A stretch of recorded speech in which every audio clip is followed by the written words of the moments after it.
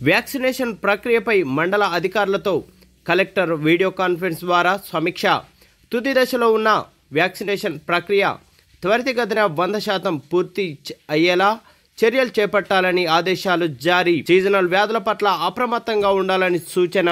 రాజన్న సిరిసిల్ల జిల్లాలో తుది దశలో ఉన్న వ్యాక్సినేషన్ ప్రక్రియ త్వరితగతిన వంద శాతం పూర్తి అయ్యేలా చర్యలు చేపట్టాలని సీజనల్ వ్యాధుల పట్ల అధికారులు ఆరోగ్య కార్యకర్తలు అప్రమత్తంగా ఉండాలని జిల్లా కలెక్టర్ అనురాగ్ జయంతి ఆదేశించారు. శనివారం సాయంత్రం సవికృత జిల్లా కార్యాలయ సముదాయం నుండి అన్ని మండలాల మెడికల్ ఆఫీసర్లు ఎంపీడీఓలు ఎంపీఓలతో వీడియో కాన్ఫరెన్స్ ద్వారా కలెక్టర్ సమీక్షించారు. ముందుగా వ్యాక్సినేషన్ ప్రక్రియను క్షేత్ర స్థాయిలో అందరికీ అవగాహన కల్పిస్తూ తక్కువ సమయంలో ఎక్కువ మంది వ్యాక్సిన్ తీసుకునేలా ప్రోత్సహించిన ఆరోగ్య కార్యకర్తలకు అధికారులకు ప్రజాప్రతినిధులకు కలెక్టర్ అభినందనలు తెలిపారు. వ్యాక్సినేషన్ ప్రక్రియ జిల్లాలో తొంభై ఏడు శాతం పూర్తి అయిందని మిగిలింది త్వరితగతిన పూర్తి చేసేలా చర్యలు చేపట్టాలని కలెక్టర్ ఆదేశించారు. ముఖ్యంగా ఇల్లంతకుంట మండల పరిధిలో వ్యాక్సినేషన్ పురోగతి వేగవంతం చేయాలని సంబంధిత